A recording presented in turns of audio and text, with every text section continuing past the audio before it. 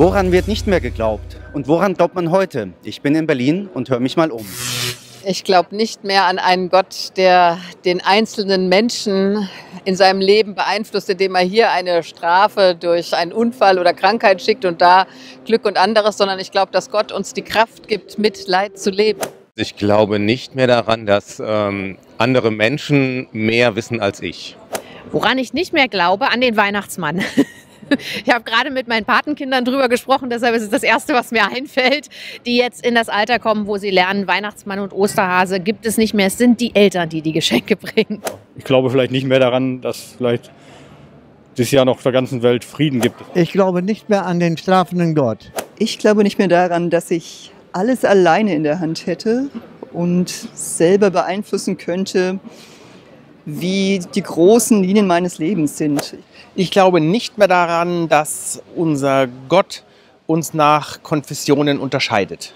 Ich habe meinen Glauben an die große heile Welt schon vor einiger Zeit verloren, was aber auch gut ist, weil es so das eine Perfekte ja gar nicht geben kann und ähm, es auch immer wieder gut tut zu realisieren, dass das, was für mich gut ist, für andere vielleicht gar nicht gut ist. Und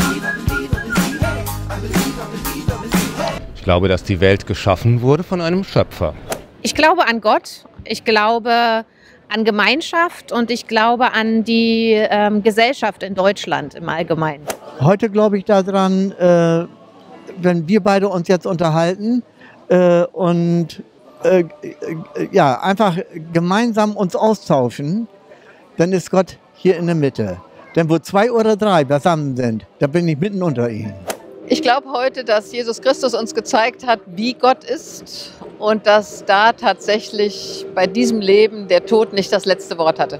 So schwer es manchmal auch fällt, glaube ich daran, dass es Nächstenliebe gibt und dass Menschen zueinander stehen und füreinander eintreten. Ich glaube heute, dass es eine der Aufgaben des Kirchentages bleibt, Gegensätze abzubauen, Brücken zu bauen, Solidarität zu zeigen. Ich glaube eigentlich an einen sehr barmherzigen Gott. Mein Gottesbild ist nicht so, dass es sich gar nicht verändern würde, sondern manchmal habe ich tatsächlich noch diesen Vatergott im Blick, der in meiner Kindheit sehr prägend war. Aber ich kann Gott auch als Geistkraft sehen, die die Welt bewegt, als Freundin, mit der du dich unterhalten kannst im Gespräch, im Gebet. Oder vielleicht tatsächlich als die tröstende Mutter, als die Jesaja Gott beschreibt. Ich glaube, dass es einen Gott gibt, der sich nicht in die Belange der Menschen einmischt.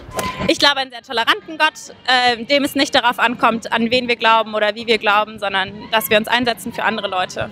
Mein Gottesbild ist sehr stark von meinen Großeltern geprägt. Mein Großvater war lutherischer Pfarrer und ähm, meine Großmutter hat mir als kleines Kind versucht zu erklären, was Gott bedeutet, indem sie sagte, das ist wie die schönste warme Kuscheldecke, die du hast, in die du dich einkuschelst und die dich warm hält, auch wenn du mal traurig bist oder wenn du Angst hast und die immer da ist. Und das ist das Bild, äh, was ich mir von Gott bis heute erhalten habe. Ich glaube, es gibt äh, nicht mehrere Götter, die irgendwie zueinander in Konkurrenz stehen ähm, sondern es gibt eben nur einen Gott. Für mich ist Gott das große Darum.